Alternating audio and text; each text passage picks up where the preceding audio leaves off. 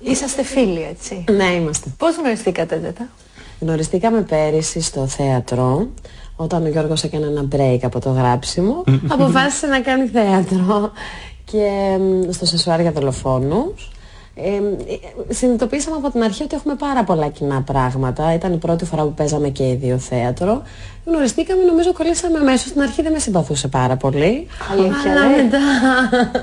Αλήθεια λέει. Ε, πίστευα ότι θα αντικρίσω μπροστά μου μια κοπέλα η οποία θα είναι κάπως απόμακρη, κάπως ψυχρή, κάπως θα κρατούσε αποστάσεις. Ε, αυτό νόμιζα ότι θα αντικρίσω, αλλά που δεν θα είχαμε ποτέ κανένα πρόβλημα. Δεν πίστευα ότι θα γινόμουν, ας πούμε, ότι θα γινόμασταν τόσο καλοί φίλοι. Γιατί αυτό κάνουν τελικά τα περιοδικά, τα μέσα. Σου φτιάχνουν μια εικόνα η οποία πόσο αληθινή μπορεί να είναι. Έλεγε ότι η Ζέτα Μακρυπούλη είναι ήδη γνωστή δηλαδή, άρα θα με Ναι αντιμετωπίσει και θα είναι... με μια όχι, ψυχρότητα. Νόμιζα ότι γενικότερα θα... Πίστευα, πίστευα ότι... Ότι το παίζει κάπου. Ναι, ή ότι βγαίνει ψυχρή μάλλον στα μέσα. Αλλά στην ουσία είναι ότι τα μέσα μάλλον σε παρουσιάζουν κάπως. Αυτό δεν είναι. Βέβαια αυτό το... Ναι. Δηλαδή αν η Ζέτα δεν θέλει να μιλάει για κάποια πράγματα, τα περιοδικά θα γράψουν ότι είναι απόμακρη. Είσαι Αυτό. ψυχρή ή φοβισμένη; Φοβισμένη είμαι πάρα πολύ πια. Δηλαδή δεν ξέρω πώς μπορώ να το αντιμετωπίσω αυτό το πράγμα που συμβαίνει.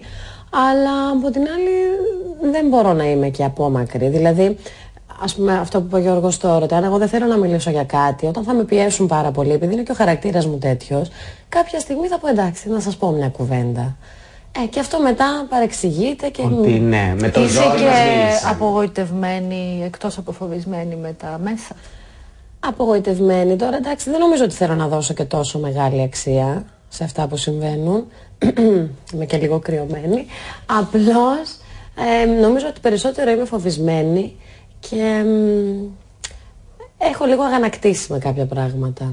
Θεωρείς ότι έχεις κάποια ευθύνη και εσύ, δηλαδή λες ότι τώρα έχω μπει λίγο στο παιχνίδι, το ξέρω λίγο καλύτερα και αν μερικά νομίζω χρόνια ότι ποτέ πίσω μπορώ να θα το έκανα μάθω αυτό το άλλους παιχνίδι. α, χειρισμούς; Ή πιστεύεις ότι είναι η ευθύνη των μέσων; Πιθανότατα, εάν γύριζα το χρόνο πίσω, να, μ, τα Να αντιμετώπιζα χειριζόσουν λίγο κάποια πράγματα διαφορετικά, τα διαφορετικά. πράγματα. Πιθανότατα ναι. Όπως τι δηλαδή. Νομίζω όλο αυτό το πράγμα με τη διο- δημοσιότητα. Από την άλλη όμως, δεν θα άλλαζα τίποτα από τη ζωή μου και από τις επιλογές μου σε καμία περίπτωση. Δεν θα έδινα αυτή τη χαρά σε κανέναν, αλλά από την άλλη δεν νομίζω ότι ποτέ μπορούμε να πούμε ότι το έμαθα το παιχνίδι της δημοσιότητας και μπορώ να το αντιμετωπίσω από εδώ και στο εξής. Δηλαδή εγώ δεν μπορώ, κάθε φορά εκπλήσωμαι.